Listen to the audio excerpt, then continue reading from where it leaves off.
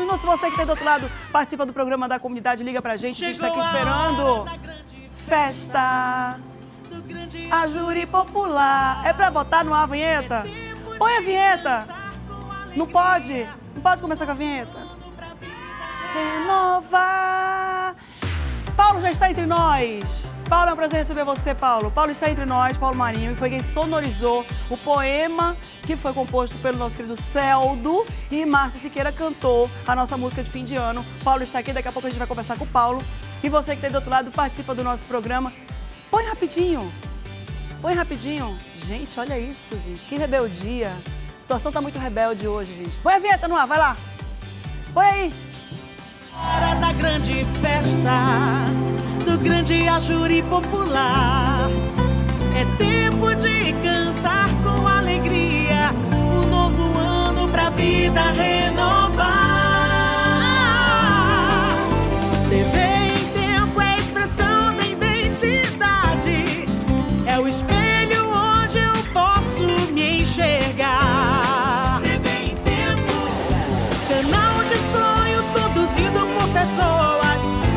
missão especial de humanizar. É tempo do abraço verdadeiro, abraço verdadeiro. Palavra amiga, expressão de paz e amor, de paz e amor. Vamos em frente com a garra e a certeza que a esperança em nosso porto já chegou.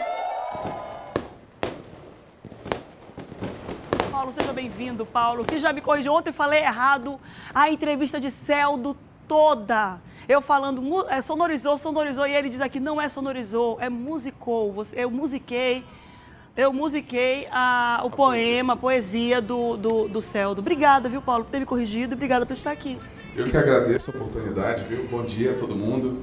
Para mim é um grande prazer, né? O Celdo é um poeta maior, um dos maiores poetas da nossa região. ele é. E fora isso, ele é uma pessoa excepcional, um amigo pessoal. Quem conhece o Celdo sabe do que eu tô falando. Ele convida a gente para fazer jantares na casa dele. Nunca me convidou, Cara, vou te falar. porque eu não sou amiga dele, né? Cara, é, é muito bom. Cara, é ele nem me bom. corrigiu ontem. Aí o, o Paulo, eu digo assim, Paulo, pelo amor de Deus, eu entrevistei o Celdo falando errado. E o Celdo não me corrigiu. Aí ele disse, porque o Celdo é muito gentil, o Celdo é um cavalheiro.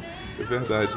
Então, assim, é um prazer. Você vê a poesia dele, faz toda a diferença, né? A gente que tenta escrever, a gente que é, somos meros mortais, quando a gente tenta fazer letras assim, não, não sai nada que preste, né? É. Aí tem que ser um cara especialista para poder fazer a coisa ficar bonita, assim. É, ele é show, o Celdo é show. Obrigada por ter feito uma, uma musicalidade, acho que é assim, por ter musicado esse poema que ficou tão lindo, a gente adorou, a gente cantou, tem, tem realmente assim um ritmo muito, muito contagiante. E a gente quer agradecer. Devia ter vindo ontem, viu? Não conseguiu vir, É, né? ontem não deu porque eu faço cross esse horário. Cara de saúde, pressão alta, eu faço crossfit nesse horário. Tipo, hoje eu abri mão do crossfit para estar aqui com vocês. Não, mas olha, o que o Paulo tá dizendo, o que o Paulo faz aqui é certo, viu? Prioridade é a vida da gente. Prioridade é a saúde. Quando a gente, a gente só vai sentir realmente o que é uma vida com qualidade quando a gente prioriza a atividade física e prioriza a saúde. Obrigada Com por ter certeza. aberto mão hoje, mas hoje você está aqui com, com a gente. Obrigada. Maravilha, viu? obrigado, viu? Tudo de bom. Vamos, vamos ver mais uma vez? Agora eu Bora. quero ver contigo aqui, vai. Bora. Põe no ar pra mim de novo. Chegou a hora da grande festa, do grande ajuri popular. É tempo de cantar com alegria, vida renovar. TV em tempo é a expressão da identidade, é o espelho onde eu posso me enxergar. TV em tempo. Canal de sonhos conduzido por pessoas com a missão especial de humanizar.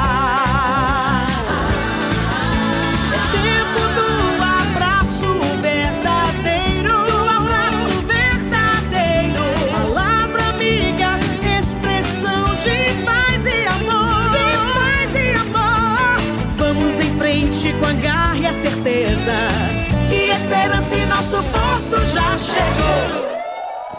Uh, Show! Obrigada, Paulinho. Obrigada por ter vindo aqui, viu? da obrigado. próxima vez, volte sempre. Tá. Da próxima vez a gente chama junto. Mas a gente vai, deve usar isso aí pro resto da vida. Amém. Essa música. Obrigada. Obrigado. Vamos chamar o Emerson. Vamos chamar o Emerson. Emerson com Minuto Oferta. Vai lá, Emerson. Segura o sorriso. Já comigo, Márcia! Eu estou diretamente aqui do centro de Manaus, sabe onde? Tropical Multiloja, a loja completa, onde você vai encontrar tudo que você precisa para deixar sua mesa de Natal muito mais bonita. Temos taças, Emerson, claro, vem comigo, que nós temos também, além das taças, nós temos suqueiras. Olha esse lindo modelo de suqueira em vidro para você ter na sua mesa. O balde de gelo, senhoras e senhores, nós temos aqui também mais pote de vidros que você vai encontrar. Olha essa linda jarra de vidro que você vai encontrar aqui no, ah, nessa loja completa, onde você vai encontrar tudo que você precisa em um só lugar. Tem mais jarras? Temos! Agora nós temos essas jarras, as suqueiras também que você vai encontrar. Olha o colorido dessas suqueiras para você ter aí na sua mesa do Natal, mesa do Ano Novo. Tem a vermelha, a rosa, azul, dourada, lindos modelos, sabe quanto? R$ 59,90. Isso mesmo, tira print aí, ó, R$ 59,90 e corre pra cá na Saldanha Marinho e também no Via Norte, Tropical Multiloja. E taças, tem taças, Emerson. Senhoras e senhores, nós temos aqui os mais, os modelos mais lindos para você ter na sua mesa. O azul, tem aí o transparente, olha esse branco transparente aqui.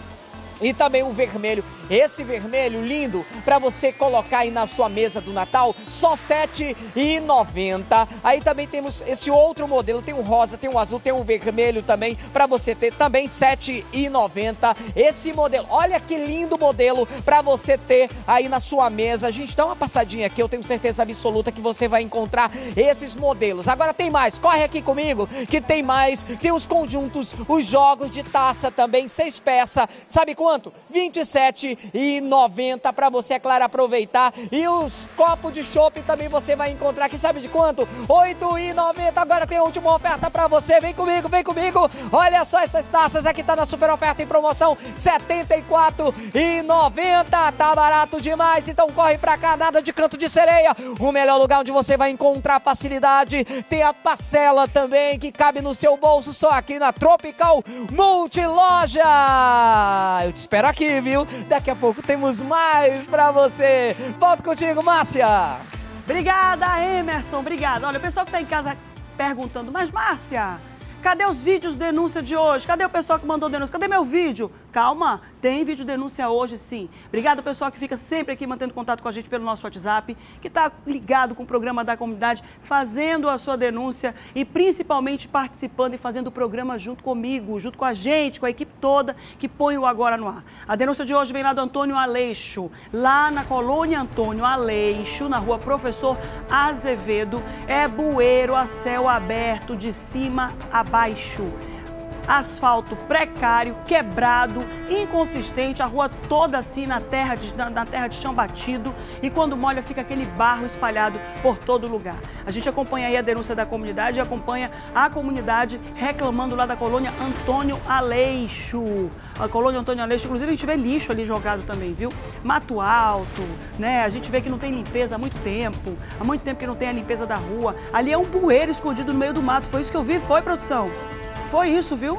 É um bueiro ali escondido no meio do mato. Ou seja, sem infraestrutura, infraestrutura precária. A dona Sandra que mandou pra gente essa denúncia, obrigada, dona Sandra, inclusive reclamando de lixo jogado na rua. Pois é, né? Quem é que joga o lixo na rua? Né, dona Sandra? Sei que a dona Sandra tá indignada. Quem é que joga essa lixa? Quem é que joga esse lixo na rua? Por que, que o pessoal não faz aquela lixeirinha na frente da casa, não joga no saquinho de lixo e deixa lá para o carro coletor do lixo passar?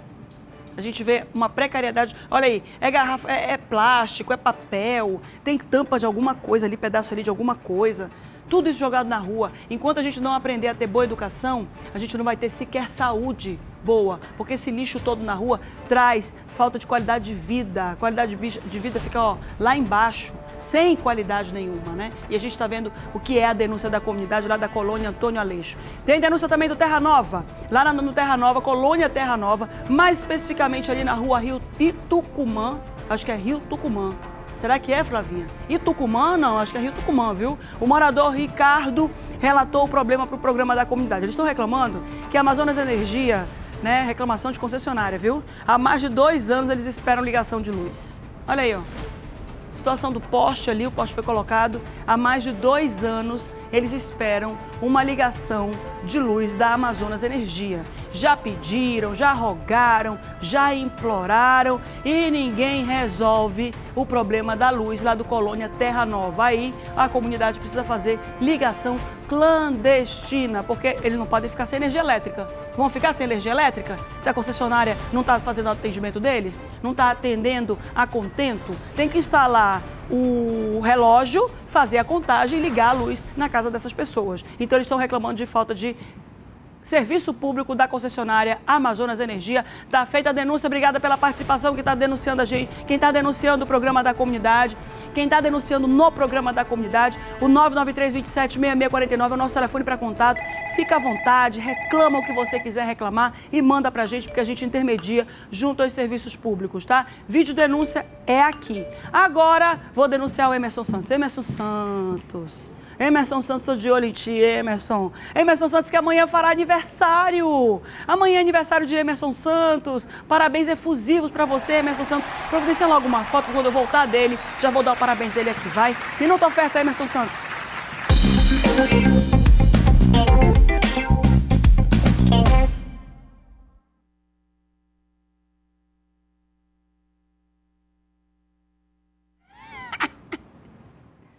Esse Marcos é gaiato, tá tirando onda comigo, gente. Isso é onda que ele tá tirando comigo. Ô, cadê a foto do Emerson? Conseguiu? Puxa aí, daqui a pouco a gente vê o Emerson Santos que vai trazer mais uma entrada pra gente lá do Tropical Multilojas. Tropical, que é uma das minhas lojas preferidas. Tudo que você precisa, você encontra na Tropical Multilojas. Eu queria era um crédito ilimitado lá na Tropical Multilojas. Me dá, dá um crédito ilimitado, Tropical Multilojas? Agora sim. Emerson, ele tá fazendo brincadeira porque é aniversário dele. Eu tô de olho. Emerson, minuto oferta, vai. E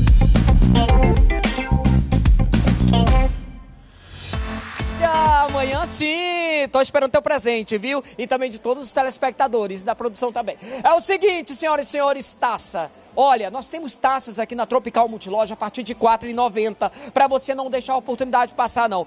Por aí você encontra de 7, de 10, de 15, de 20. Vai comprar caro? Vai! Pois é, já te falei que o melhor lugar para você comprar e onde você vai encontrar sim produto de qualidade, porque tem nome, viu? Nada de canto de sereia, porque o seu melhor lugar para você ficar completa é Tropical Multiloja. Dá uma olhadinha nessa mesa, mesa completa, mesa linda que você pode ter na sua casa. Sim, não custa caro você ter produto de qualidade. E olha, todo o pessoal aqui da Tropical Multiloja tem esse, essa preocupação com você, de te oferecer produtos de qualidade e produtos lançamentos, não é nada antigo, é, nada antigo não. Por aí eles usam coisas antigas, né, que sobrou do ano passado, aqui não, porque vende tudo, porque é produto de qualidade. Sim, aqui na Tropical Multiloja você sabe muito bem do que eu estou falando seu Alain, meu amigo Alain, que é o grande idealizador de tudo isso da Tropical Multiloja. Data especial, hein, seu Alain? Bem, realmente eu queria desejar um Feliz Natal a, ao cliente, ao nosso cliente, que é a razão da nossa existência. E um Feliz Natal e que o próximo ano seja excelente. Esse ano foi um ano meio duro, mas o próximo vai ser fantástico. Entendeu? Então, Feliz Natal a você. Seu Alan foi dizer que o ano foi meio duro, o Taradec travou, gente. Foi duro mesmo, foi sofrido, viu? Sofrido pra muita gente. Vamos ver se a gente consegue voltar com o Emerson, só pro seu Alan se despedir. Seu Alan, que é um dos caras grandes idealizadores da Tropical Multilojas, é uma das cabeças também que, que cuidam da Tropical Multilojas. Hoje, quem tá à frente lá da Tropical Multilojas é o filho dele o, o Eric, a gente sabe que a Tropical Multilojas é uma potência, é uma loja que a gente acha tudo que a gente precisa, tudo que a gente quer e é isso que é a Tropical Multilojas. Eu adoro a Tropical Multilojas, eu não posso negar isso, tem algumas lojas que são, que são apaixonantes e tudo que tem na minha casa eu comprei lá na Tropical Multilojas e a Tropical Multilojas para mim é excepcional, tanto na linha doméstica quanto na linha de decoração, na linha de, de utilidades de casa, tudo que você precisa de limpeza também, que você encontra lá, rodo, todo. Tudo que você precisa você encontra na Tropical Multiloja. Então, a Tropical Multiloja, pra mim, é excepcional, tá fora da curva. Vamos lá, vai, Emerson. Vamos pegar- terminar de ouvir aí o seu Alan com a mensagem dele de fim de ano. Isso mesmo, mensagem do grande idealizador de tudo isso, porque Tropical Multiloja tem nome e tem o carinho da população. Seu Alan, mais um ano. Bem, quero falar e desejar para vocês um feliz Natal e que o próximo ano seja bem melhor do que esse ano agora. Esse ano que nós estamos passando aí, que foi um ano difícil, muito duro, mas que o próximo ano vai ser melhor e daqui para frente o país vai melhorar bastante, vai voltar os empregos. E é isso que eu quero desejar a vocês. Um Feliz Natal, ótimas festas final, final de ano e que o próximo ano venha com muita prosperidade, muito trabalho. É, é isso que a Tropical e nossa equipe deseja a vocês. A esse cliente tão bom que, que realmente é a razão da nossa existência, né? Então, Feliz Natal, pessoal. Um Feliz Natal também para o senhor, para toda a sua equipe, para sua família. Olha, que nós somos uma família aqui e você faz parte dessa. Amém. Você há muito tempo nos acompanha e vai, vai se manter por muitos anos aí. Opa, 2020 juntos! Tem bem certeza. tempo! E Tropical Multiloja. Um grande abraço pro senhor, Saúde felicidade. paz. Saúde Amém, para todos nós. É isso aí. Márcia, volto contigo apaixonado. Olha que mesa linda para você ter no seu Natal. Só encontra aqui, viu? Nada de canto de sereia. Volto contigo. O Emerson é muito inteligente. Emerson merece um aumento comercial. Ele já renovou o contrato, vocês viram, né? Vocês viram que ele renovou o contrato com a Tropical Multiloja, vocês viram. Emerson merece um aumento. Vou logo avisando pra vocês que estão aí do outro lado. Aproveita e dá, que aproveita que é aniversário dele. Vamos lá mudar de assunto, você que tem do outro lado, 3307-3950, 3307-3951, 3307-3952. São os telefones pra você conversar comigo. Liga pra cá, diz como é que vai ser aí o Natal, o que, que você tá preparando pra semana que vem e pode ligar pra reclamar também, tá? E o nosso WhatsApp continua ligado com você pra você mandar seu vídeo denúncia. Olha, deixa eu dizer pra você uma coisa que tá aí do outro lado.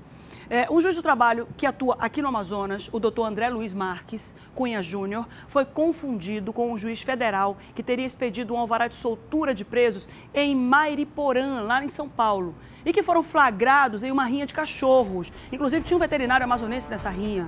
O juiz do trabalho foi confundido e a gente precisa sempre tomar cuidado, principalmente quem trabalha com a mídia, quem trabalha na imprensa, a gente tem que ter esse cuidado de não divulgar fotos que não sejam oficiais, que não sejam fornecidas pelos órgãos públicos, eh, que tenha autoridade para poder divulgar essas fotos e principalmente tomar cuidados com os homônimos. E foi um caso como esse que a gente traz. E é óbvio que a gente, no afã de sempre trazer a verdade, sempre trazer o que aconteceu na realidade, conversou com o juiz do trabalho confundido e quem manteve essa, fez a entrevista com ele foi o Márcio Paz Barreto e a gente vê agora.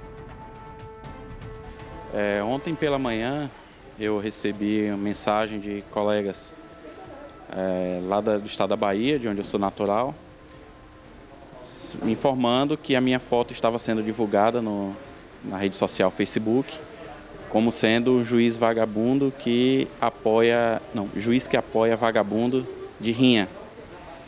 E no primeiro momento eu tomei um susto porque eu não, não imaginava do que se tratava. E logo a seguir fui pesquisar para ver do que era e quando observei, entrei na rede social, havia milhares de compartilhamentos da minha foto, várias montagens de diversos tipos, eh, associando a minha foto, a minha imagem a um, um juiz que deu uma decisão lá no estado de São Paulo de um caso que teve repercussão nacional em relação à rinha de cães. E as pessoas insatisfeitas com a decisão buscaram a minha foto, buscaram colocar a foto do juiz e ao invés de colocar a foto dele, que também não é algo que eu deva ser, deva ser aceitável, colocaram a minha foto. E por conta disso a minha imagem tem circulado no Brasil inteiro, há milhares de compartilhamentos, milhares mesmo, alcance imenso em todo o país. E isso tem causado um estrago, assim, não apenas na minha imagem, mas na minha tranquilidade, na, na minha na minha vida como um todo, na minha família, várias pessoas. E a gente tem exemplo de situações que já foram narradas, já noticiadas, de pessoas que tiveram a sua imagem divulgada e chegaram a ser assassinadas pela população por conta disso. Eu, eu lembro um caso em São Paulo de uma de uma senhora que foi apedrejada na rua por ter sido veiculada a sua imagem como alguém que tinha praticado um estupro ou coisa do, do gênero. Mas isso é muito perigoso e, e eu agradeço o espaço para estar expondo a minha imagem de maneira correta, como um juiz do trabalho que exerce a função aqui na cidade de Manaus e que está aqui para servir a população, para fazer o bem. Na verdade, apesar de ser difícil a, o rastreamento de alguma, a gente não sabe ainda qual foi a postagem inicial, mas estamos correndo atrás, os órgãos também de investigação já foram notificados e estão apurando. Ah, as pessoas são, são responsabilizadas sim. No geral, o que a gente quer é que as pessoas tenham consciência, que não seja necessário que elas sejam responsabilizadas, que elas sejam punidas por conta desse tipo de situação, mas que elas se conscientizem que as pessoas têm história, as pessoas têm família, as pessoas têm reputação e ainda que pratiquem algum ato que as pessoas não concordem, isso não dá o direito de que a sua imagem seja simplesmente disseminada e execrada, porque as pessoas podem se arrepender, as pessoas podem voltar atrás, tentar uma nova vida, e isso se torna muito mais difícil a partir do momento dessas que atitudes como essas são tomadas. Isso é ruim para a sociedade. A sociedade deve entender que as pessoas, ainda que pratiquem erros, elas têm direito a uma segunda chance. Vou dizer uma coisa para vocês que estão aí do outro lado. Eu, eu, eu sou. Eu, obviamente, eu não trabalho na defesa de animais como muitas pessoas que doam a vida para isso. É, mas a gente não pode aqui generalizar, pegar uma pessoa que estudou a vida inteira, fez uma faculdade de cinco anos, fez um exame da OAB que é casca grossa. Só para esclarecer, essa aqui foi a foto que foi veiculada erroneamente, tá? Essa foto aqui é a foto que foi veiculada. Colocaram a foto, a imagem do juiz, doutor André, e fazendo referência a um juiz lá de São Paulo, lá do interior de São Paulo, que é um juiz federal do interior de São Paulo, e o doutor André atua aqui no Amazonas como juiz do trabalho não tem nada a ver com liberação de crime contra os animais, de crime de rinha de cachorro, tem nada a ver. Quem liberou o homem que, se, que liberou lá para São Paulo foi um juiz, se eu não me engano, foi um juiz federal, não sei se foi um juiz estadual, não me lembro agora, mas eles têm o mesmo nome, o mesmo sobrenome e, obviamente, com um rosto diferente, e o juiz foi confundido. É, a, a, gente, eu já expliquei isso aqui eu, e, obviamente, que essa, é, circulou essa imagem aí de forma equivocada, mas o telespectador do programa da comunidade já sabe, já sabe que quem solta o criminoso é a lei, não é o juiz. A gente precisa entender isso. Eu ia pedir isso, viu, Flávio, para tirar a foto para ninguém mais confundir o juiz com, com, com o juiz lá de São Paulo. Quem solta o criminoso é a lei, não é o juiz. O juiz, ele cumpre o que está determinado na lei. O juiz tem a função de julgar, o juiz tem a função de estabelecer é, dosimetria de pena, valor de pena, se a pena custa, se a pena vai para um ano, dois anos, três anos, quatro anos, de acordo com o que está preconizado, determinado na lei. Então, o telespectador do programa da comunidade, ele não vai mais dizer que o juiz solta. O telespectador do programa da comunidade não vai dizer que o juiz é responsável pela soltura do criminoso. Nós estamos falando de poder legislativo. Quem faz a lei é o município, vereador no, no âmbito municipal, deputado estadual no âmbito estadual, deputado federal e senadores no âmbito federal. Eles é que confeccionam as leis e o juiz só aplica, cumpre o que está determinado na lei. Então, o telespectador do programa da comunidade não vai mais confundir juiz com legislador. Juiz não solta, juiz aplica a lei.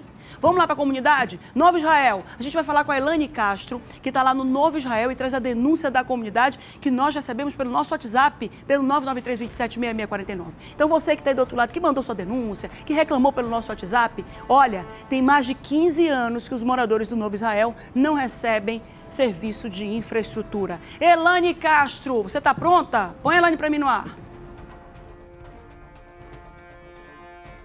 Márcia, hoje nós viemos conhecer a realidade que não é nada fácil aqui dos moradores do Novo Israel 1, na rua Senador Fábio Lucena. Olha só a situação dessa rua. Já começa porque a ladeira é quase reta, né? Complicadíssimo. Fica pior ainda porque olha o lodo que está nessa rua devido.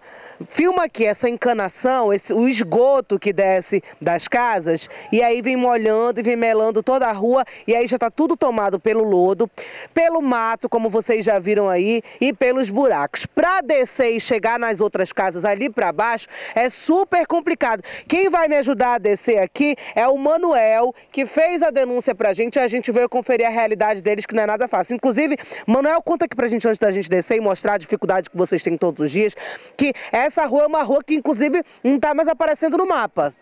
Isso, exatamente. É... Na verdade, essa rua é a Senador Fábio Lucena, né? Mais conhecido como Travessa Paranha, que é o novo endereço. E já a gente já está largado aqui já há quase mais de 20 anos. Pode ver aqui, ó, que na descida aqui é dificultoso descer e subir. Então, a gente a gente tem essa dificuldade porque a gente já está largado aqui pelos órgãos Você disse que essa rua foi asfaltada em 1900 e... 93. Em 93. Desde daí não vieram fazer mais nada aqui. Não fizeram meu fio até lá no meio lá. Aí depois começou a época de chuva, começou a chover, começou a esburacar, começou a descer ali a- o barranco ali, ó. E, é E como vocês podem ver, a rua é tomada pelo mato. Fechou, o mato fechou a rua, né? fechou tudo aí, pode ver, ó. Não tem mais asfalto. Não tem mais, tá quebrando tudo, quebrou todo o asfalto aí. Faz um bom tempo que, que não tem nada aqui, nada, nada, nada. Asfalto, eles iam terminar essa rua aqui em 93, aí ficaram de, de vir, foi passando ano, foi passando ano, porque eu cheguei aqui de 86 para 87, né? Então desde daí, ó, olha como é que é a nossa situação aí, ó. Essa é a situação, Márcia, aqui dos moradores. Fica muito complicado se o cinegrafista conseguir também descer por aqui. Vem aqui, olha o buraco que está aqui e tudo no barro. Não tem condições. Teve que construir realmente essa ponte. A gente vê que não teve saída para os moradores. E aí eles trafegam apenas por essa ponte. Ou seja, a gente quando olha para cá nem imagina que isso aqui era uma rua. Márcia, infelizmente essa é a situação. A gente pede ao poder público que dê uma olhadinha aqui no Novo Israel 1, na rua Senador Fábio Lucena. Eu volto com você no estúdio. Obrigada, Elane Castro. Obrigada, Elane Castro, que traz as informações pra gente lá do Novo Israel. E a gente vai agora ao vivo com o Márcio Paz Barreto. Ele tá pronto, Márcio? Márcio que traz a denúncia do bairro Novo, bairro esse que eu chamei aqui no intervalo do Namira, que eles reclamam de uma ponte que cai e não cai. Márcio Paz Barreto, tô aqui pra você e pela comunidade. Cadê a comunidade aí do bairro Novo que reclama essa ponte? Vai, Márcio. Eu vou até a comunidade. Márcio, muito bom dia para você. Muito bom dia para os nossos telespectadores aqui da TV em Tempo, do programa Agora. Na verdade, nós estamos na fronteira entre o bairro Novo e o bairro aqui atrás de mim é o Jorge Teixeira. E olha só o flagrante que a gente está pegando aqui, justamente em um dos problemas vividos pela comunidade todos os dias. A senhora está passando nessa ponte, uma ponte que está realmente precária, né? Quase já está caindo essa ponte. E como a gente diz aqui, que a gente sente na pele a dificuldade dos moradores, deixa eu conversar com essa senhora aqui rapidamente. É, é, Esse aqui é o único acesso que vocês têm de um bairro para o outro. Muitas vezes eu acredito que tem que ir num- num- numa unidade de saúde, numa escola. Isso aqui é todo dia que vocês têm que passar. Todo dia a gente está vivendo essa dificuldade aqui dessa ponte. As crianças correm risco de cair, os adultos caem. Um dia desse caiu um moço, levou 20 pontos no braço atravessando essa ponte aqui. E essa dificuldade é todo dia. Todo dia é essa dificuldade para a gente atravessar para lá e vir de volta. As crianças que vão para a escola, as crianças que vão para a igreja, a gente mesmo que tem um acesso de um lado para o outro. Todo dia é essa dificuldade aqui. Olha, Márcia, eu tô aqui do lado do Jorge Teixeira, aqui na Rua Baleia. E a gente já começa a ver a falta de infraestrutura. A gente vai fazer o que a gente costuma fazer, que é sentir na pele né, a dificuldade dos moradores. A- aqui nesse trecho a gente já começa a perceber que a, a, a, a ponte começa a balançar. Aqui, ó, já tem um, um risco muito grande de cair. Ó, tá balançando. E, e- e os moradores falaram assim: cuidado, porque quem não conhece aqui onde pisa, vai pro, vai pro meio do igarapé. E aqui eu já fui até treinado para passar por aqui, Márcia. Fui treinado. Pessoal da igreja que fica desse lado aqui, no bairro Novo, já disseram para mim que já evitaram, já cancelaram alguns cultos, porque quem vem aqui do Jorge Teixeira não pode, principalmente crianças, não pode ter esse risco de cair no igarapé. Como a senhora falou, Muitas pessoas já caíram, crianças já caíram aí. E você vê que quem construiu essa ponte foram os próprios moradores, né? Não foi o poder público. Foi os moradores, né? A gente se reúne, cata essas madeiras já velhas, né? E vai fazendo. Só que agora está impossível, né? Porque não tem condições de fazermos mais, porque a estrutura de baixo está danificada, né? Já caiu um rapaz aí que levou 17 pontos, né? No, no braço dele, né? Foi levado para o Platão. E agora a gente não pode cuidar das crianças, são 48 crianças que a gente tem que cuidar os sábados e não tem condições dessas crianças passar porque o rio enche e, e se essa ponte desaba no momento? A gente quer pedir né, que o nosso prefeito da nossa cidade doe pelo menos as madeiras né, para a gente fazer, que a gente se une e faz a, a ponte, né? Porque é um benefício para a escola, é um benefício para as crianças e também para os moradores dessa comunidade. E para a igreja também, né? Que agora a igreja está praticamente isolada porque não tem como passar, né? Os irmãos têm medo. E também tem esse problema aqui no final da rua, né? Que a gente desce essa água todinha e essa, esse asfalto ele não chegou até a beira do Igarapé. Então a água ela volta para lá em poça e vira lama. Olha, Márcia, o que a gente está mostrando aí são imagens reais, ao vivo, aqui da comunidade do Bairro Novo, Jorge Teixeira, aqui na rua Baleia. E olha só, você tá aqui nesse, trecho aqui, você pode ver que ela está fazendo uma curva, porque ela já está tombando para o lado de lá, Márcia. Olha só, não tem qualquer segurança não essa ponte. As pessoas que passam aqui correm risco mesmo de cair. Né? A sorte é que alguns, alguns estudantes já estão de férias e não estão passando muito aqui, mas mesmo assim, muitas pessoas, inclusive agora há pouco eu flagrei um outro rapaz tendo que vir lá do Jorge Teixeira aqui para o bairro Novo para comprar o gás. Ele imagina o rapaz trazendo uma botija de gás na mão em cima dessa ponte. Então é realmente muito complicado. Os moradores estão pedindo aqui, pelo menos, a madeira que eles mesmos eles que vão construir a ponte, vão reconstruir essa ponte, né? E o detalhe é que, por exemplo, você está vendo lá do outro lado as crianças, ó. Essas crianças elas passam por aqui todos os dias. Muito cuidado aí, Marçal. Você que está subindo na ponte aí, muito cuidado porque a, ponte balança. Pode pisar aqui, a orientação dos moradores é que a gente tenha cuidado aqui, viu, Márcia? Muito cuidado. E pisa, Marçal, aí nesse, nesses, nessas toras aí, nessas ripas mais, mais grossas. Ó, nesse momento, nosso cinegrafista está se arriscando aqui, Márcia, passando pela ponte também, porque a nossa equipe é assim. Nossa equipe sente na pele né, a dificuldade dos moradores de várias comunidades. Ele está passando por um trecho improvisado ali. Muito cuidado. Eu, sugiro até que o Marçal nem volte para esse lado aqui, que a gente volte num, num segundo link para mostrar um outro problema aqui da rua aí, do bairro, bairro Novo. Olha só, muita situação aqui vivida pelos moradores são situações de risco, Márcia. A gente pede aí, apela para as nossas autoridades, apela para o Distrito de Obras, apela para os vereadores, deputados que possam fazer essa doação para os moradores aqui dessa área da cidade, porque é uma situação realmente muito delicada, de risco, vivida dia a dia por essas pessoas. Olha, eu falei que agora há pouco que já estava quase chovendo e a situação fica mais complicada ainda quando chove aqui. Na verdade, está chuviscando já, tá? Está chuviscando aqui já. Olha só o que a gente flagrou aqui. A altura da água, onde ela chega. Aqui na janela. Vamos ver se o Marçal consegue chegar aqui, porque ele está passando bem devagar. Inclusive está balançando aí, né, Marçal? Está balançando a câmera. Não é porque ele ele ele está sem equilíbrio, não. É porque a ponte realmente está balançando. E a água chega nessa altura aqui, Márcio. Olha só. A água, quando chove, alaga que chega até essa altura. Então a ponte vai para o fundo. A ponte vai para o fundo. E aí a, a- população pede apoio aqui. Marçal, se puder vir para cá, Marçal, que a gente vai conversar aqui com esse... Tá ali o rapaz que comprou o gás, ó. Vem cá. Vou mostrar o rapaz que comprou o gás, ó. Que a gente falou, que, que eu flagrei ele, ele atravessando a ponte com a botija de gás.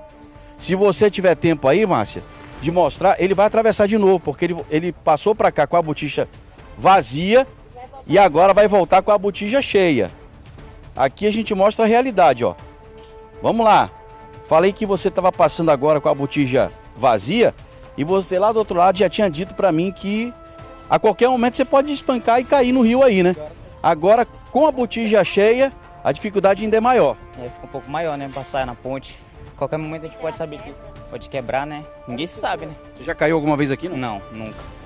Olha só, pode ir lá, meu amigo. Tenha muito cuidado, por favor, porque a gente está ao vivo aqui no programa agora. Marçal, deixa o rapaz descer aí, Marçal. Porque aí só pode ir de um por uma, porque não tem condição. Aí, ó, já está recebendo ajuda aqui de um outro morador, mas muitas vezes ele vai sozinho, aí carregando a botija cheia, aí o outro já não quer mais se arriscar, não. É, Você, já vi que você não quer se arriscar também, não, né? Irmão, porque tá complicada essa ponte. Você vê olha, como é que tá a estrutura dela toda solta. Não tem condições, mano. Passa uma criança aí, o cidadão caiu onde tá aquela placa verde ali, aquela porta de janela. Aquilo ali já foi eu que já coloquei aquilo ali. O rapaz pegou uns pontos aqui que fez um V no braço dele. É. O rapaz que se acidentou aí, o rapaz daqui da casa aqui, que socorreu ele, que levou ele para o hospital. Olha aí, é, são, são relatos da- dos moradores aqui. É, a base, eu tô vendo aqui que a base realmente já foi, já foi embora. Não tem segurança nenhuma essa ponte, Márcia. Deixa eu ver se eu consigo mostrar aqui outro problema. Vou pedir para que a senhora venha aqui comigo para falar desse outro problema aqui, também vivido pelos moradores. Isso aqui é bem próximo da ponte. Marçal pode vir para cá, Marçal, para mostrar aqui, olha só. Isso aqui é falta de drenagem, a gente percebe que não tem nenhuma uma forma de escoar a água da chuva, tem muitos canos aqui expostos e a situação dessas pessoas aqui fica realmente muito complicada. Né? É uma situação de, de insalubridade aqui, porque isso aqui causa muita doença aqui para vocês, eu imagino. Tô vendo que tem muito mosquito aqui, isso aqui, uma doença é muito, muito comum para vocês aqui. É verdade. Aqui aparece é, é rato, é, é largata, é bicho, todo tipo de bicho aqui. A gente, e quando isso aqui tá alagado, a gente não consegue nem passar. Até os carros ficam alagados. Tem preciso os donos levar lá para cima para poder salvar os carros dele, que não tem condições de a gente passar aqui quando tá alagado e essa lama fica aí empoçada aí. Olha, e, e- e eu, e eu- a gente está a gente, a gente tá num período que não tá chovendo, Márcia, aqui. Quando chove aqui, como é que fica a situação? Ah, fica terrível, precário pra gente passar aí, fica empossado aí, ó. Eu quero que o prefeito venha aqui olhar por nós aqui, que a gente só- só- estamos abandonados aqui no, no bairro Novo, no Jorge Teixeira aqui, né? Nós precisamos que ele venha aqui, né? Arrumar a rua aqui pra gente, que, a gente, que alaga isso aqui, a gente não consegue passar, as crianças, tudo fica... Até nossas casas, quando alaga, a gente perdeu já tudo, não tem mais nada dentro da nossa casa. Eu vi que a água realmente chega a um nível muito alto. Inclusive, inclusive, olha, essa casa foi construída já numa altura, aqui, Massal, ó. Essa casa já foi construída numa altura, porque a água chega até aqui, ó. Olha só, aí o morador construiu essa casa nessa altura porque a água já chega aqui.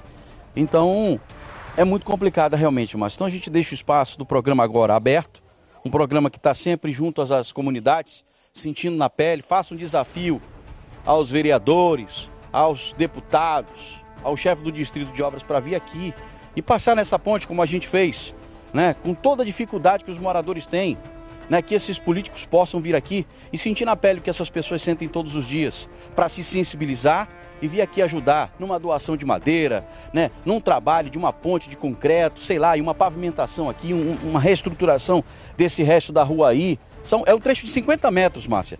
50 metros para fazer o restante da rua aqui. Então, a gente apela para as autoridades, para os órgãos responsáveis, para que eles possam vir aqui no bairro Novo, na rua aí, para resolver definitivamente esse problema que a comunidade vive dia, vive dia a dia. Eu volto com você. Paz Barreto, muito obrigada pela participação hoje, trazendo a denúncia da comunidade. Denúncia esta que recebemos pelo nosso WhatsApp, o 993276649. Lembrando que você pode mandar mensagem o tempo todo, a hora que você quiser, inclusive ligar para cá também. Nós mantivemos contato com a Secretaria Municipal de Infraestrutura e a Semif disse que vai colocar no cronograma de obras para tentar atender o mais rápido possível os moradores lá do bairro Novo. Olha só, gente, são 11 horas e 41 minutos. Ontem nós acompanhamos, eh, nós veiculamos, mostrando para você no Jornal em Tempo, às 11h15, que municípios do Amazonas vão receber recursos para obras de pavimentação urbana. E a gente vai acompanhar os detalhes, porque a gente está recebendo hoje aqui nos nossos estúdios o senador Eduardo Braga, que veio falar sobre isso, vai falar também sobre a mensagem de Natal, porque é, é comum, a gente sempre recebe o senhor aqui todos os anos para falarmos sobre isso. E a gente vai acompanhar a reportagem agora. Põe no ar para mim. Os municípios de Parintins, Careiro Castanho, Itacoatiara e Manacapuru foram beneficiados com recursos que juntos somam 10 milhões de reais para a instalação de estações de água potável e tratamento de esgoto. Mais de 14 milhões foram para atender os municípios de Tapauá, Itapiranga e Boca do Acre. O investimento será de 24 milhões. Os recursos foram viabilizados por emendas do senador Eduardo Braga ao orçamento da União deste ano, além de convênios firmados com a Funasa. Formou essa parceria através do senador Eduardo Braga, Ciama, que acompanha o e Funasa, e a gente conseguiu avançar muito esse, esse projeto. É um projeto, é um sonho do município, né? que com certeza vai mudar a situação local, a situação de saúde pública, e é uma parte, não é o, o todo da obra, na verdade, é um município de mais de 35 mil habitantes, mas com certeza vai dar uma qualidade de vida muito melhor depois da implantação desse projeto de 7 milhões. Nós vamos atender mais de 20 comunidades rurais em diversos municípios com melhorias sanitárias. É um recurso importante numa área que o interior do Amazonas é muito carente. Então, eh, agora que chegamos na época natalina, a gente espera que isso represente não só um Feliz Natal, um próspero Ano Novo, mas também um ano de 2020 muito abençoado para o interior do estado do Amazonas. O senador também participou de uma reunião junto ao representante da Caixa Econômica do Amazonas para a assinatura dos contratos no valor de 65 milhões de reais para obras de pavimentação urbano de 13 municípios do estado, entre eles Nova Olinda, Borba, Parintins, Carauari. No mesmo evento, as prefeituras de Silves, Itacoatiara e Itapiranga também assinaram os contratos com a Caixa Econômica para as obras de pavimentação urbana. O recurso destinado a esses três municípios somam mais de 14 milhões de reais. São 70, 75 milhões assinados hoje, de várias verbas para todos os municípios, totalizando com as assinaturas de semana passada 132 milhões para melhorar o desenvolvimento socioeconômico da região e melhorar o atendimento a toda a população do estado de Amazonas. São mais de 17 municípios beneficiados. Todas essas obras devem ser licitadas e iniciadas no exercício de 2020, conforme previsão dos contratos. Pois é. E aí a gente vai conversar sobre esse assunto. Foi uma semana que a gente recebeu, esse início de dezembro foi um início de dezembro bem complicado para todo mundo, porque a gente recebeu muitas denúncias com relação a asfaltamento, com relação a ramais. Mas antes da gente entrar nesse assunto, eu preciso fazer uma pergunta muito importante, sem a qual eu não dou prosseguimento a essa entrevista. Quantos quilos o senhor perdeu? Ah, Senão não sou eu, né, fazendo essa entrevista. Se eu não, primeiro piada- cumprimentar a todos e cumprimentar você, Márcia, que é minha amiga de muitos anos. A gente estava fazendo as contas aqui, É, de quantos anos? é, há muitos anos. A gente não fala mais isso porque a Ah, contabilidade. segredo, bem baixinho, desde 98, É, caraca. desde 98 que a gente tem é, uma relação profissional e de amizade.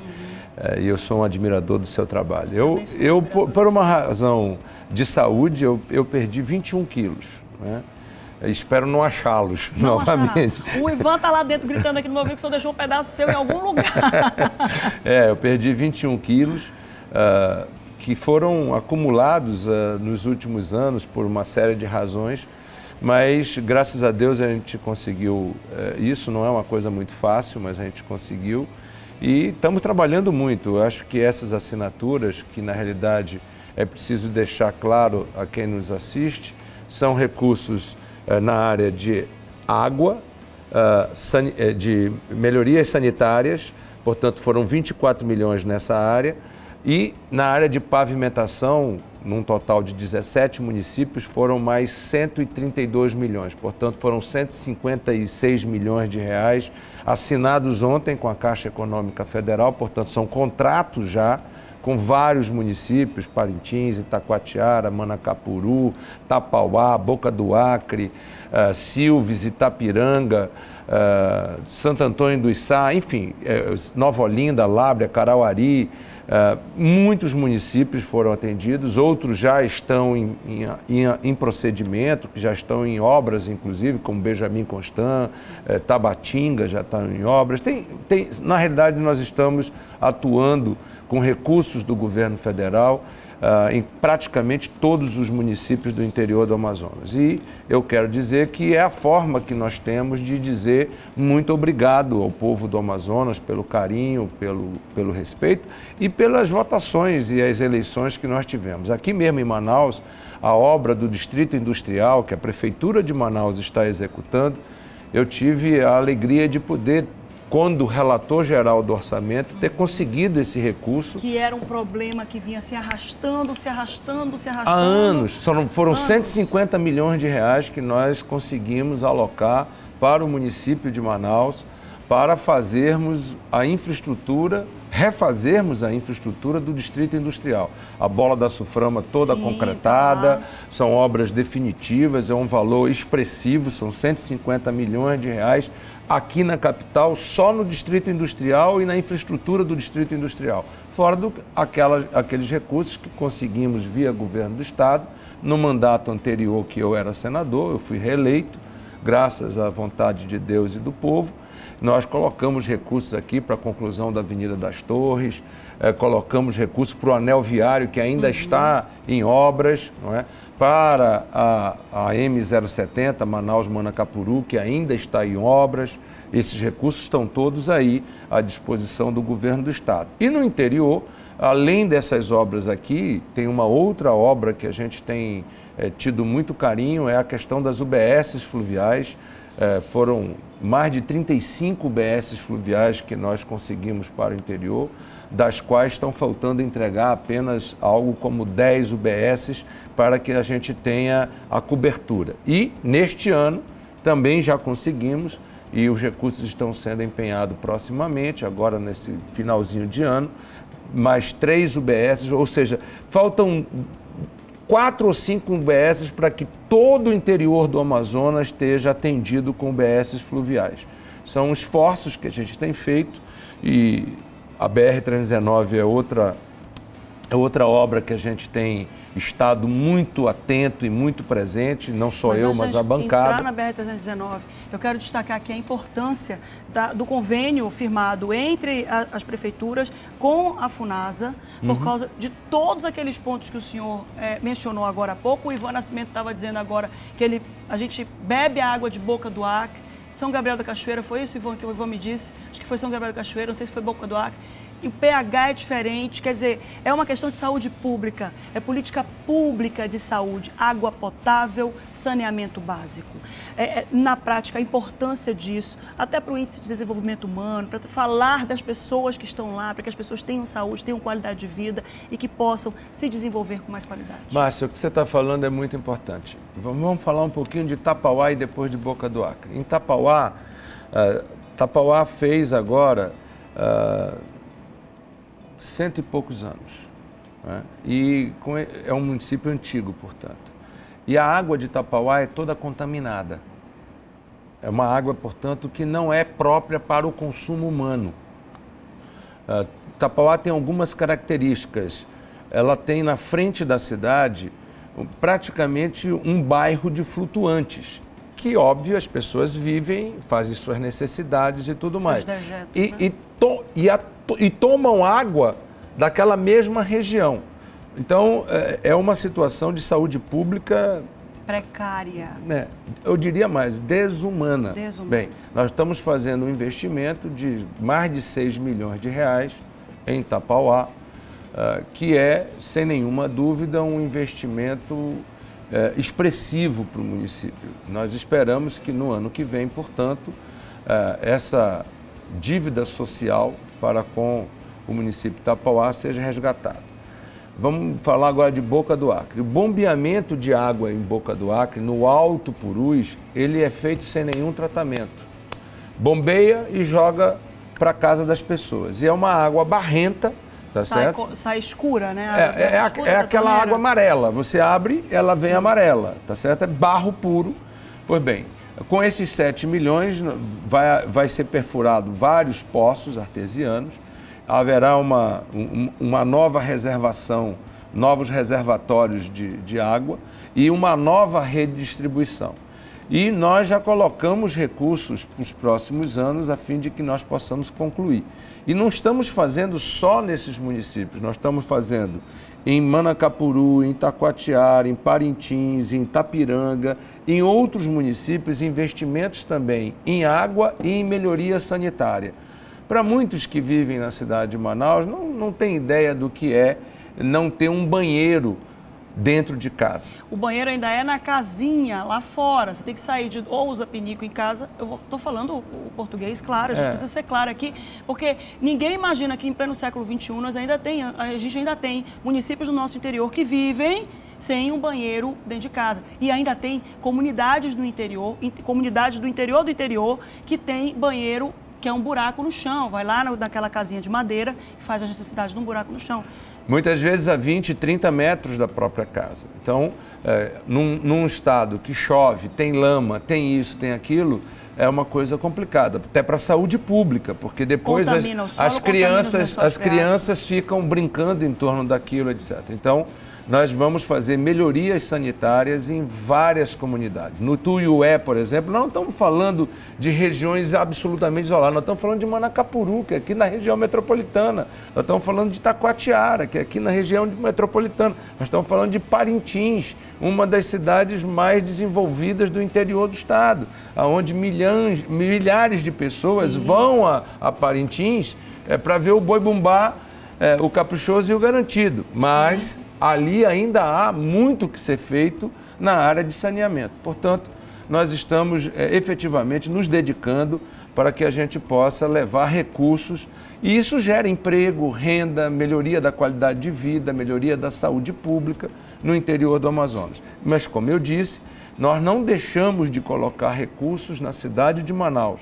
Aí está o Distrito Industrial sendo absolutamente reconstruído com recursos do governo federal, que nós alocamos via Suframa, à época, a Rebeca era superintendente da Suframa, eu fui relator geral ah, do orçamento, colocamos o recurso, foram feitos os convênios e agora finalmente a obra está acontecendo.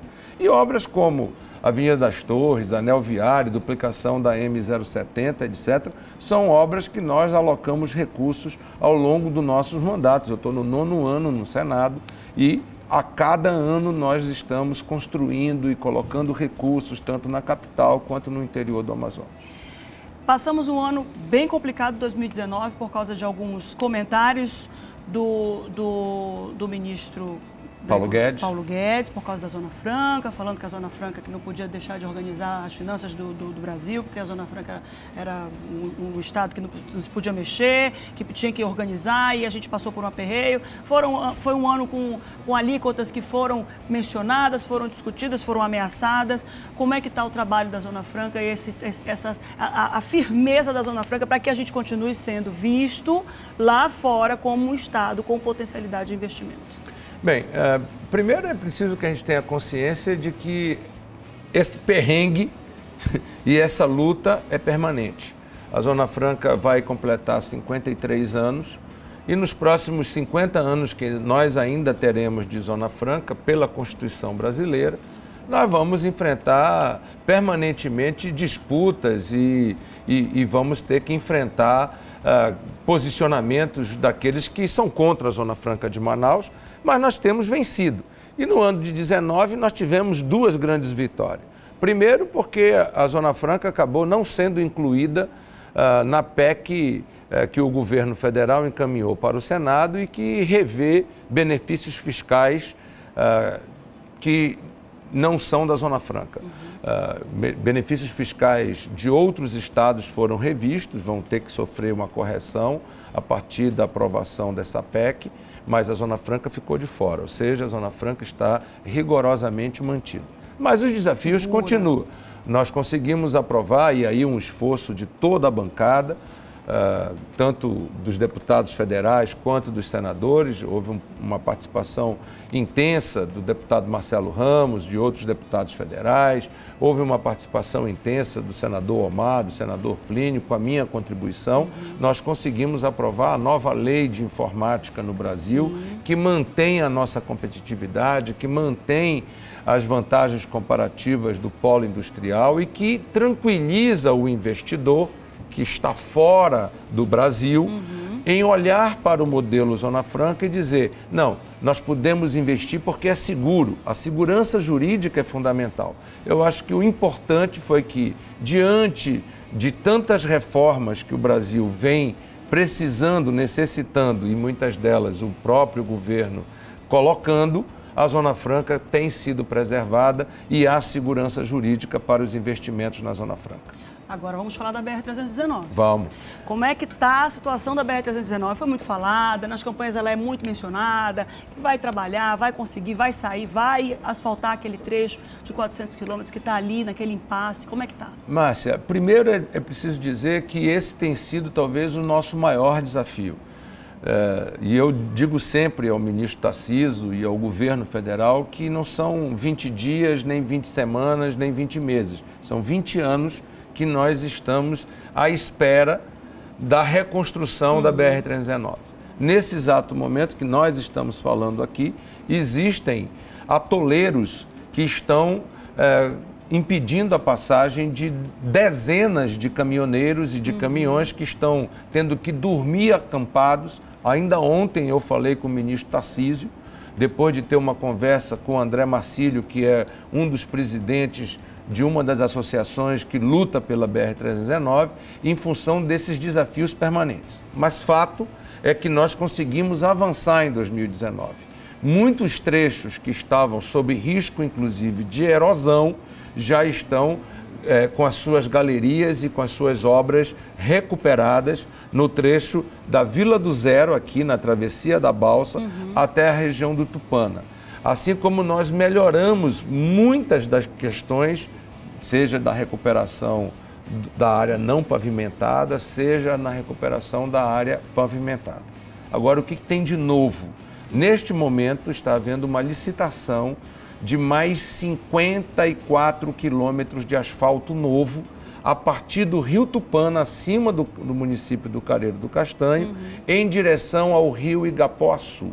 São mais 54 quilômetros de asfalto que uhum. nós esperamos começar no verão do próximo ano. Assim como já aprovamos recursos no orçamento de 2020, isso é uma primeira informação. Primeira mão. Primeira mão, porque o orçamento foi aprovado nesta semana, na última terça-feira. Uhum. Então, nós aprovamos três tipos de recurso. Um, uma emenda impositiva de bancada, que todos os senadores e deputados federais contribuíram no valor de 10 milhões de reais para a BR-319. Conseguimos aprovar uma emenda de nossa autoria na Comissão de Infraestrutura do Senado, que foi ratificada pelo, pelo relator geral, no valor de 100 milhões de reais para fazer a recuperação da terraplanagem dos atoleiros Sim. da Terra do Meio e a conclusão das reformas de galerias, pontes, etc., para evitar a erosão e, a, e evitar que a obra ande para trás, como nós estamos vendo em vários lugares. E mais, 8 milhões de reais para a conclusão do projeto executivo da Terra do Meio, que nós esperamos ver a licitação lançada com a aprovação do, do, do da licença ambiental, finalmente. Sim no segundo semestre de 2020. Então, a nossa expectativa é que até o final de 2022, mais tardar 2023,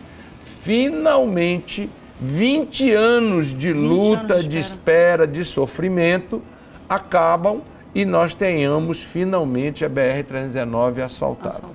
Não é uma coisa simples. Muita gente que me ouve nesse momento e que está ou indo para a BR-319 ou está no trecho da BR-319, sabe que nós ainda estamos sofrendo. Sim. Há ainda muito sofrimento para que a gente possa avançar, mas as ações estão acontecendo, há uma sensibilidade do Ministério da Infraestrutura, há uma mobilização em torno disso. Ainda hoje à tarde eu estarei em contato com o pessoal do DENIT aqui no estado do Amazonas sobre estes pontos de atoleiro que estão acontecendo na BR-319. Mas eu tenho esperança, tenho otimismo e confiança de que nós estamos finalmente no caminho certo no caminho. para concluir a BR-319. Mais longe já estivemos. Muito mais longe, eu garanto a você que muito mais longe. E por fim, nessa questão de BRs, uhum. eu quero falar mais duas coisinhas que também é de primeira mão.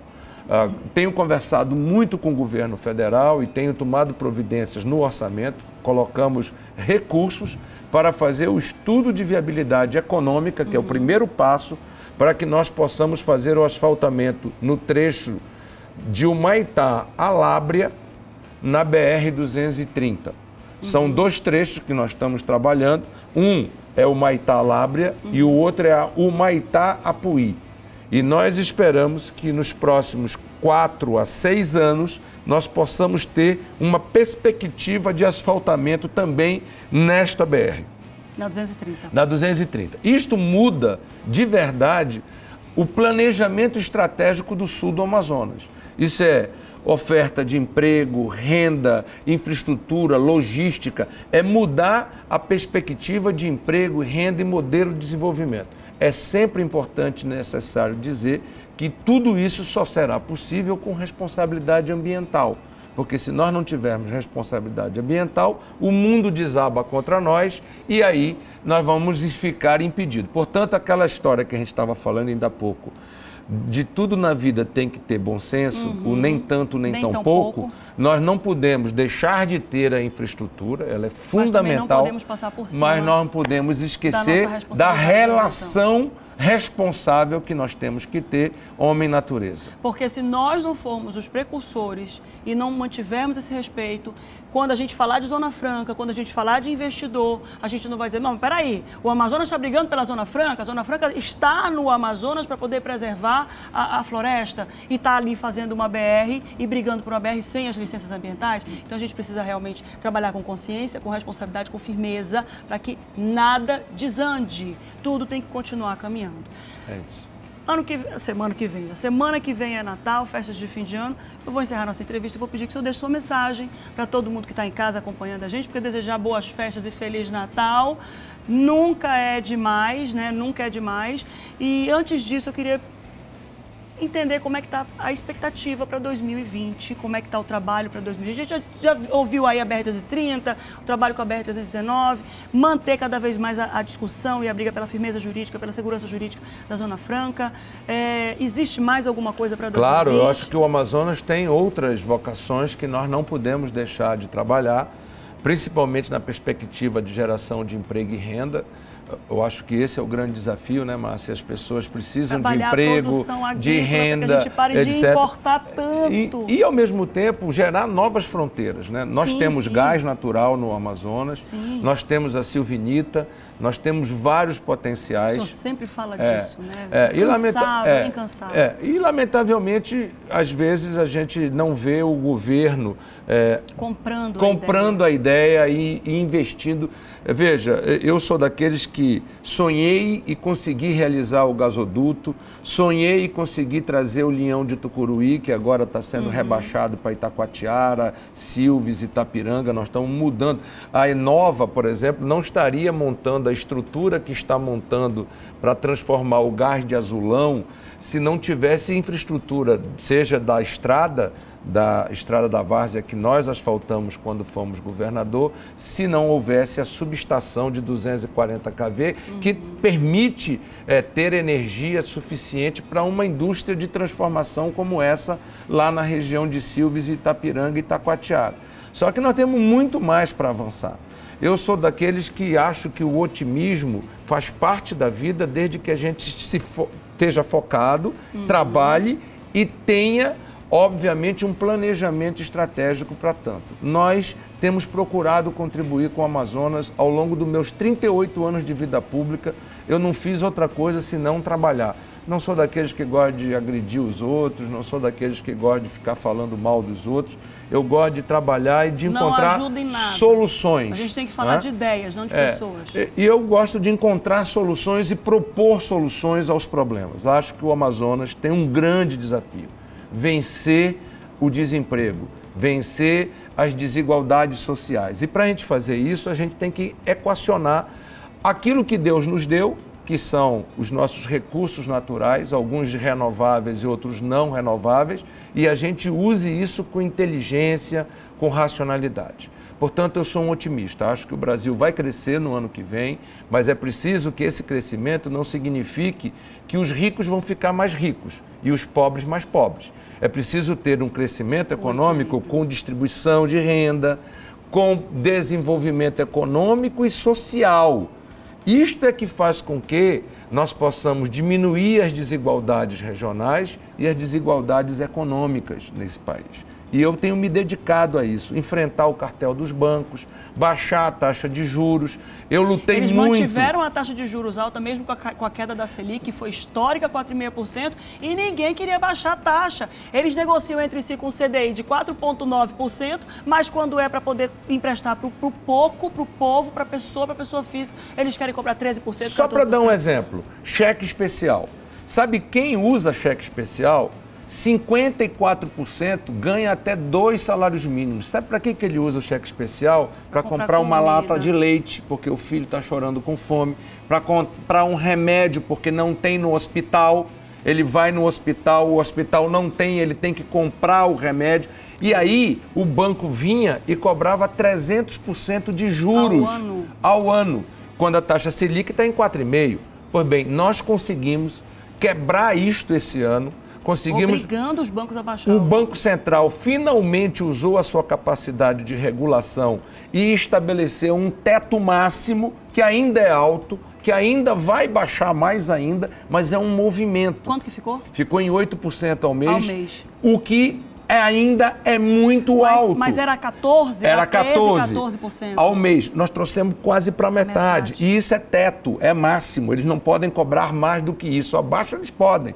E a Caixa Isso é Econômica Federal já baixou a taxa de juros simplesmente para 90% ao ano. De 300% caiu para 90%. O Banco do Brasil vai começar também a se mover. Ou seja, uma questão de um cartel banco que estava blindado, que ninguém olhava, era só lucro em cima de lucro para os acionistas Os pobres e para os os banqueiros e aqueles que precisam, que gera emprego, faz investimento, etc., não tinham acesso. Esse enfrentamento foi um dos enfrentamentos que nós fizemos em 2019 e que vamos começar a colher resultados, eu não tenho dúvida, em 2020. Portanto, eu quero desejar a você, a seu esposo, a sua família, a sua mãe, a todos, enfim, um Feliz Natal, um próspero Ano Novo. E a você que me assiste, eu quero que todos os amazonenses tenham um Natal abençoado com a presença de Jesus no coração de todos nós e que nós possamos ter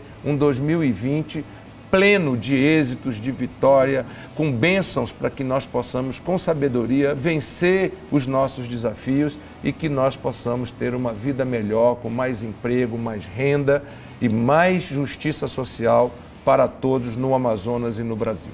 Obrigada, senador. Eu que agradeço. São 12 horas e 9 minutos. Vamos para um rápido intervalo, vamos beber uma água. Daqui a pouco a gente volta. Não sai daí, não.